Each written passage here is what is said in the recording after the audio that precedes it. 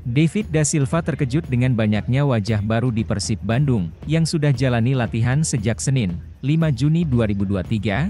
Hal itu ia ungkapan, setelah melihat tiga pemain baru Luis Mia, seperti Rian Kurnia, Edo Febriansah dan Iputu Gede. Selain itu, David Da Silva juga terkejut dengan kehadiran pemain binaan Akademi Persib yang ikut berlatih bersamanya seperti M. Adzikri dan Putra Sheva.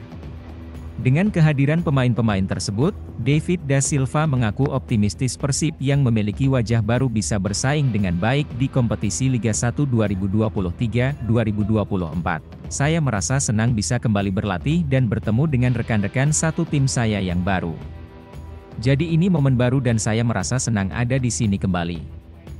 Ujarnya saat ditemui di Stadion Sidolik, Kota Bandung, Rabu, 7 Juni 2023. Meski baru tiba di hari ketiga latihan, DDS mengaku tak ada kendala untuk kembali berbaur dengan timnya yang baru di Persib.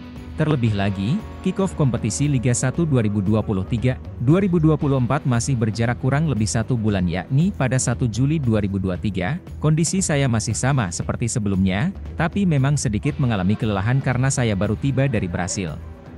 Jadi tidak ada masalah untuk adaptasi dan masih banyak waktu untuk bekerja keras, tambahnya, di sisi lain, pemain asing baru yakni Tirone Del Pino, masih belum terlihat berlatih bersama skuad Luis Mia dari hari pertama hingga saat ini.